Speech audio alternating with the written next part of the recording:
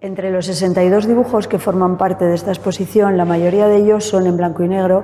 eh, probablemente por la capacidad que tenían de, materiales, de papeles y de, lapiceros, de grafito. Eh, pero hay algunos, como estos cuatro, que, son en color, incluso hay algunos en tonalidades azules eh, o en otras tonalidades, supongo que dependería más, de, más que de los deseos del propio artista, también de la capacidad que tenían para, para encontrar materiales. Eh, todos estos dibujos en color son más fruto de la abstracción que de la figuración y, bueno, mm, representan un poco más los estados de ánimo de,